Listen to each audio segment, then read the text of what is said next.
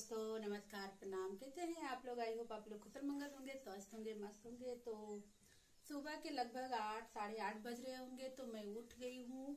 ससुराल में हूँ, जैसे कि आप लोग देख सकते हैं। और नहा चुकी हूँ।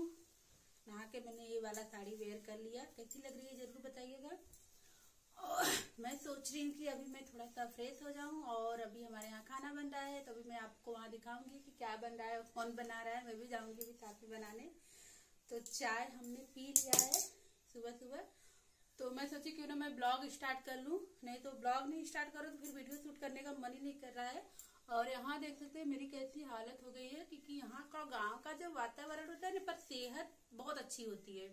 जब मैं मुंबई से निकली थी, मेरी सेहत बिल्कुल खराब थी। मुझे नहीं लग रहा था कि मैं वहाँ रह पाऊँगी। पर सच यकीन मानो, गाँव में आने के बाद में आपका जो प्रॉब्लम होता है ना, जैसे मेरा साइनस अभी आप लोग देख सकेंगे ना, मेरे सूजन भी नहीं है, क्योंकि मेरे फेस पे जब मैं मुंबई से निकली थी, बहुत ज़्यादा सूजन फीलिंग थी। अभी मेरा सूजन भी कम हो गया और मुझे ना बहुत अच्छा लग रहा है अभी। मतलब ऐसा कोई प्रॉब्लम नहीं लग रहा है, जो कि मैं यहाँ, ऐसा भी नहीं मैं टाइम पे खा रही हूँ टाइम पे नहा रही हूँ, सो रही हूँ, जो कि टाइम ऐसा है, फिर भी हैप्पी है। मतलब सेहत बहुत अच्छी होती गाँव में, सच बताऊँ तो अगर आपको ऐसा लगता है कि हाँ गाँव में मैं जाके बीमार हो जाऊँ तो डोंट गाँव में आप आके अच्छे हो सकते हो। तो मैं सोची मैं तैयार होते होते आप लोग के साथ कुछ बात कर लूँ और मेरा ब्लॉग भी स्टार्ट हो जाए। तो ये मैं टोनर यूज़ कर रही हूँ क्योंकि काफ़ी टाइम से एक महीने से मैं अपने फेस पे कुछ भी नहीं लगा रही थी, बस नीम के पत्ता उबाल के आप लोगों ने पिछले वीडियो में देखा होगा कि मुझे क्या हुआ था। तो नीम का पत्ता उबाल के मैं नहा रही थी। अभी मैं गाँव में आई तो मैं नीम वाला साबुन लेके आई हूँ। फ़िलहाल मैं साबुन लगाना अभी चालू कर दी हूँ।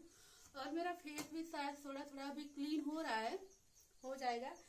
तो अभी खाना बन रहा है, उसके बाद मुझे ना पता है बहुत सारा आपको मैं दिखाती हूँ मैं कितना सारा भंगार लगा के रखी हूँ। ये देखो, मैंने अपना कपट से सारी जो पहले की मेरी पुरानी साड़ी मैंने रखा था मैं वो रहा मेरा कपट। कपट बहुत पुराना है, बहुत पहले का है, उन्नीस साल पहले का कपट है तो कपट पे माइंड मत कीजिएगा कैसा कपट है। जो भी है, यही है जो कि हाँ हम लोग यूज़ भी नहीं करते हैं। तो वहाँ सब साड़ी वड़ी और मैं अभी चद्दर वद्दर सब बहुत स्मेल कर रहा है। तो गद्दे वद्दे जो मेरे बेड के गद्दे वगैरह है और ये सब सोफा उफा देखो, सब मतलब अभी क्या गाँव है ना तो गाँव में बहुत सारे ये क्या होते हैं, फ़सल होते हैं ना तो रखने के लिए जगह नहीं है, इसीलिए चाची सास ने सारा सोफा उफा जो कि ये सोफा वगैरह है ना, ये बाहर वाला जो कोठरी है, मैं आपको वीडियो वैसे ही बता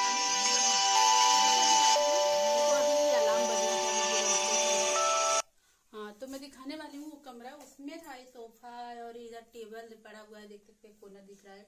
टेबल वगैरह सब वहाँ था। तो शायद धान वान फ़सल रखी थी तो चाची सब इधर शिफ्ट कर दी क्योंकि ये मेरा कमरा है और मेरे कमरे में मैं ऑलरेडी पाँच साल बाद आई हूँ। तो इसीलिए जो भी कबाड़ा है, उधर का हॉल का जो कबाड़ा था, बाहर बरामडे का, वो यहाँ आ गया है, शिफ्ट हो गया। पर जब मैं यहाँ रहने लगूँगी तो खाली करवा दूँगी। फ़िलहाल मुझे दो चार दिन ही रहना है तो ज़रूरत नहीं है। यहाँ आपको दिखाती हूँ, देखो, बहुत सारे अनाज रखे हुए हैं।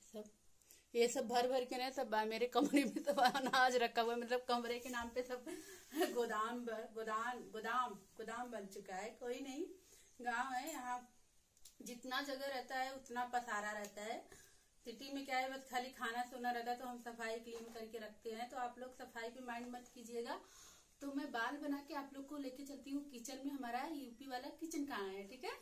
तब तक मैं बाल उल बना के तैयार हो जाती हूँ, नहीं तो मैं पक पक करूँगी तो वीडियो बहुत तो दोस्तों मैं थोड़ा सा मेकअप टेकअप करके तैयार हो गई हूँ, कैसी लग रही हूँ बताना ज़रूर। और ये मैं छोटा वाला मंगलसूत्र निकाल रही हूँ। छोटा सा पहनी हूँ, आज ही बुला रही हूँ। हाँ आज ही आ रही हूँ। और ये देखो, ये मैंने पहन लिया है थोड़ा सा बड़ा। ये, और ये मैं निकाल रही हूँ, मिलाती हूँ भी आज ही से। चलो दोस्तों, थोड़ा सा मेकअप वेकअप हो गया। चलते हैं के साथ। हाँ जी। का बोला हाँ, था हाँ, तू आओ हम भाई और ये बच्चा पार्टी है हाँ तो आज ही कुछ बोल रही है सुनना पड़ेगा। और मेरी भाभी का कॉल आ रहा है मैं रिसीव करके फिर मिलती हूँ आप लोग से।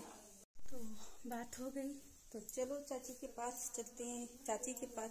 हम्म, सॉरी किचन में। ये है हमारा किचन अरे चाची आई है। और चाची कैसे आओ गोर लगा थी ये। है न हमारे चाची देखा? बम्बई हमेशा जाली और इसकी बारी ना आई गऊ ना? सच्चा आ रहे हैं एक दिन। हाँ। कुछ बोला चाहता है अपने बहन के कहाँ भाई ये वीडियो देखी तार बहन। अच्छा मैं? हाँ तो ई ना तो दिखावत है कहीं देखा चाची के दिखाए नहीं? का तहर नाम हो गए समृद्धि। हाँ देखा तहर? देरान। समृद्धि। सॉरी। भाई चाची ना है चाची की वीडियो जाई चाची देखी तो तार बहन देखी। एमे थोड़ी है इन्हें वीडियो कॉलिंग में ना है इन्हें। मैं खाली दिखाते यहाँ देख सकते हैं दोस्तों ये है पूनम ये है हमारा छोटा सा किचन ससुराल वाला। अभी मैं जा रही हूँ थोड़ा हेल्प कर दू नहीं तो मन ही मन खूब गरिया रही होगी। ये आई है बस सच रही है। अच्छा। मन तो चाची से मिल लेती हूँ फिर मिलती हूँ। सब बढ़िया है। हाँ, है। भाई ना? हाँ तो ठीक है सब ठीक है वे एक कुछ मिठाई करके रस में चलो हाँ? ठीक रही चाहिए हाँ वे सब ठीक है। ये सब यही रखी है। इन्हें कहला धरा हुआ। सब निकल जाएगी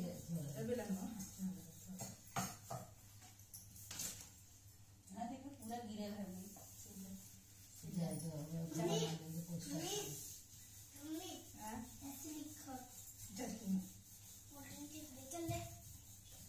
जल बनाए हाँ हम हाथ चल कर ले देखा हम हाथ चल कर ले कितनी अच्छी ननद मिली है हाँ सवेरे से उठ के हम कुछ करे ना खाली ये नहा उठ के नहाए के बस बैठा सही है। आटा भी सान ली हम कहे आई आटा हम साना लड्डू सान ली ए सीता गई खाना बनाने आई थी अच्छी बहू बन के खाना बनाऊँगी। खाना बन गया है ऐसे भी जाने दो। मुझे खाना बनाने में कोई इंटरेस्ट नहीं रहता है हाँ। तो दोस्तों वीडियो में बने रहिए वीडियो बहुत इंटरेस्टिंग होने वाला है अभी हम कहीं जाने वाले हैं तो वीडियो कंटिन्यू रहेगा। अभी थोड़ा सा मैं रील्स बना दे रही हूँ इंस्टाग्राम के लिए ठीक है? त्रिशा दो फ़ोन। बचा दे। तो भाई आज हमारा खजाना सब निकल रहा है सूखने में जा रहा है। सब बच्चा पार्टी मिलके कर रहे हैं। हम्म चल त्रिशा डेरा डंडा लेके छत पे तो चलो दोस्तों, मैं आप लोग को अपना छत दिखाती हूँ। ये हमारा छत है। बहुत कड़क धूप है रे बाबा। सारा कपड़ा, चद्दर, गद्दा सब धूप में डालना पड़ रहा है। ये है हमारा छत। पैर जल रहा है। और ये है मेरे सारे कपड़े, गद्दे वद्दे। सब सूखने में डाले क्योंकि बहुत अजीब सा स्मेल आ रही है। पाँच छह साल से कपड़ बंद था। साड़ी वगैरह भी सब है। साड़ी, उसको मत पूरा मत खोल त्रिसा वैसे रख दे, धूप लगेगा, सही हो जाएगा वो हाँ? वैसे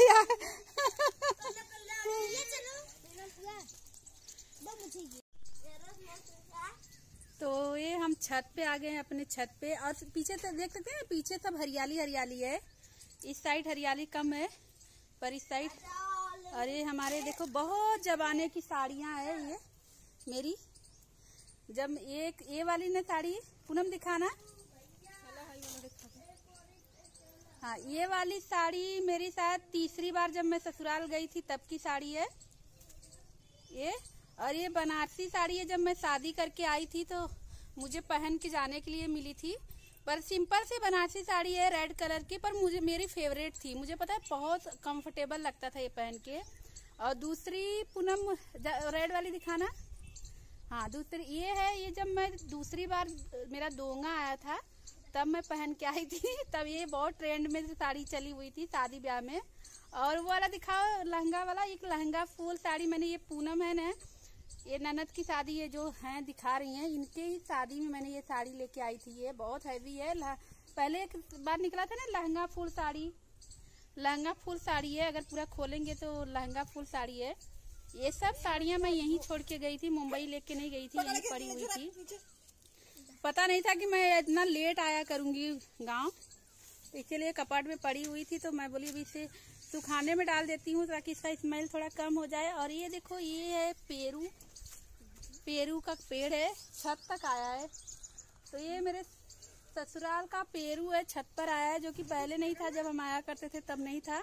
अब मैं आपको दिखाऊँ, यहाँ की मेमोरी ये जो, ये वाला जो पार्ट है ना, शादी ब्याह में जब हम लोग आते थे, ये वाले पार्ट में सब लेडीज़ लोग रहती थी, बुआ, सास, चाची, सास मतलब मम्मी, हम लोग, जितने लड़कियाँ आती थी शादी ब्याह में, सब लोग इधर सोती थी। और ये दूसरा पार्ट है तब ये जो घर है ना एक रूम बना हुआ है। एक रूम ये नहीं बना हुआ था, बाद में बना क्योंकि देवरानी के लिए कमरा काम हो रहा था सोने के लिए तो बाद में देवर ने बनवा दिया। तब वही कमरा नहीं था। इस साइड पुरुष प्रधान लोग सारे बच्चे पार्टी सोते थे और सच में बताओ ने, बहुत मज़ा आता था, बहुत ज़्यादा मज़ा आता था। और ये पीछे ही खेत है, मैं शाम को जाऊँगी, सब्ज़ी वगैरह जो भी है लगाया हुआ इधर दिखाऊँगी। ये पीछे का खेत है। और उधर कल हम लोग उस साइड गए थे। और नीचे ये ये जो गद्दा आप लोग को दिख रहा है ना, ये मेरी साड़ी है। संडे करके साड़ी है। ये भी मेरे ससुराल से, मेरे शादी में चढ़ी हुई थी चौपते में मैंने पहना नहीं।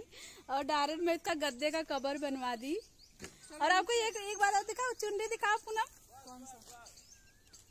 देखो, पता नहीं कितनी चुंडी मेरे शादी को मिली थी कि गाँव में, मुंबई में भी मैंने ऐसा दो रखा है और यहाँ भी एक पड़ा हुआ है। चुंडी क्या बोल रहे बस करा। बस कर। अच्छा उधर मैं ब्लॉग बना रही हूँ ना। तो युवराज थे? युवराज उधर है। चाचा ससुर के लड़के वो बोल रहे हैं बस कर। तो मेरा ब्लॉगिंग देख रहे हैं। बहुत कड़क धूप है। और यहाँ से इधर ना ये साइड जो है ये साइड नदी है। अभी मैं मार्केट जाऊँगी ना आप लोग को नदी दिखाऊँगी। तो इस साइड हमारा नदी है। पहले पता है रात को मैं, सब लोग तो सोते थे, फिर भी मुझे रात को इस साइड देख के ना इधर नदी के साइड, मुझे डर लगता था, क्योंकि कुछ कहानियाँ बता देते थे लोग ना, इसीलिए मुझे डर लगता था। मैं बहुत डरती थी। एक बार क्या हुआ, हम लोग छत पे सोए थे, नीचे कुछ तो लफड़ा हुआ, सब लोग नीचे भाग गए और मैं छत पे अकेली रह गई और ज़ोर ज़ोर से चिल्लाने लगी यार भाई, ऊपर आ जाओ, मैं डर रही हूँ। और मैं आपको अपना, अब उस साइड जा रही हूँ कि मतलब दुआर जो होता है हमारे यूपी बोली में दुआर बोलते हैं। आपके यहाँ क्या बोलते हैं आप लोग ज़रूर बताइएगा। और प्लीज़ यार बहुत मेहनत से यहाँ वीडियो बना रही हूँ धूप में ससुराल में आके। तो जरा मेरे वीडियो को लाइक शेयर कमेंट कीजिएगा। थोड़ा इंटरेस्टिंग वीडियो बनाने की कोशिश कर रही हूँ। ये देखो। ये, ये जा रही हूँ नहीं आ रही हूँ मैं भी जा रही हूँ। ये नीचे से कुछ इस तरह का देखो द्वार है। मैं फुल वीडियो आप लोग के साथ शेयर करूँगी। शाम को अभी तो फ़िलहाल धूप है और ये जंगली नीम है मेरे सामने। और उधर हमारी भैंसिया वैसिया है सब खा रही हैं। तो अभी हम लोग को मार्केट जाना है बहुत कड़क धूप है। भैंस बोला जाता है। भैंस बोला जाता है भैंस। भैंस बोलो या भैंसिया बोलो एक ही मतलब है। हाँ?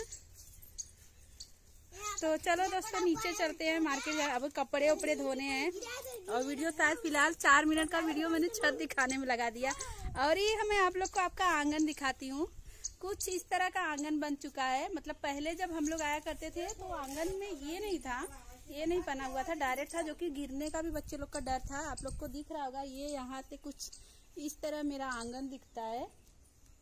पुराने जमाने में छठ दिवाली वाला आँगन बनता था, जैसे आँगन में भी बरांडा आप लोग को दिख रहा है, फिर उसके बाद तो इस तरह का आँगन है। अभी तो ये अच्छा हो गया, ये जो बन गया ना, बच्चों के लिए देखो, ये बच्चे खड़े हैं ना सेफ्टी हो गया। पहले जब हम आया करते थे तो सेफ्टी नहीं था तो बच्चे ऊपर नहीं आने देते थे, क्योंकि डर लगता था।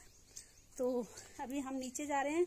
बहुत सारे कपड़े हुए हैं। मैंने कल आई थी तो कल के कपड़े भी नहीं धोई हूँ और आज के भी कपड़े सब पड़े हुए हैं, जो मेरी पुरानी साड़ियाँ भी पड़ी हुई है।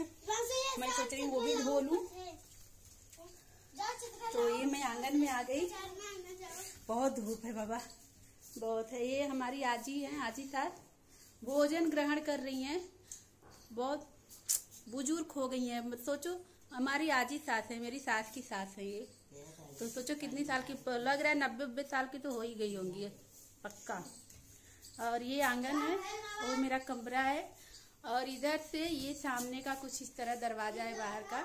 तो आप लोग जो दिख रहा है ना, बोलना कि घर नहीं साफ़ है उससे माइंड मत कीजिएगा। यूपी का घर ऐसे ही होता है, क्योंकि लोगों को बाहर का भी खेती बाड़ी का काम होता है। दोस्तों रीता मेरे पीछे पीछे घूम रही है तो नहीं साफ़ कर सकते।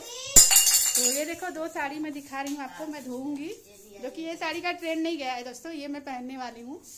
ये दो साड़ी जो कि ये साड़ी मैंने पहना भी नहीं है तो ये साड़ी मैं मायके भी लेके जाऊँगी अपने। शादी है तो वहाँ पहनने के लिए एक आध दिन पहनूँगी तो वो धोने जा रही हूँ। और येल्लो वाली भी साड़ी है। देखो पूनम पहनी ना अच्छा लग रहा है ना? आप लोग बता सकते हैं ये पुरानी हो गई है? नहीं है मुझे तो लग रही है अभी ट्रेंड इसका नहीं है मैं एक दो बार पहन सकती हूँ। हाँ? अच्छी लग रही है, अभी नहाई नहीं, इसीलिए खबरई दिख रही है। पर नहा लेगी तो अच्छी दिखेगी और इधर भी सब कपड़े हैं धोने के लिए। तो मैं धो लेती हूँ दोस्तों, फिर आप लोग से मिलती हूँ। मार्केट भी जाना है। देखो दूध से आई, मेरा फेस कैसा हो गया। और ये देखो, ये मेरा गड्ढा पड़ ही गया है, कितना बड़ा गड्ढा पड़ गया है। और ये गड्ढे गए नहीं, निशान गए नहीं कि इधर एक और आ रहा है पिंपल। पता है, मेरा फेस पता नहीं क्या स्किन में ना बहुत ज़्यादा पिंपल निकलता है, परेशान हो गई हूँ। कुछ इलाज बताओ इस पिंपल का, इस निशान का मैं क्या करूँ? तो चलो, मिलती हूँ थोड़ी देर में। बहुत लंबा वीडियो कर ही लिया मैंने।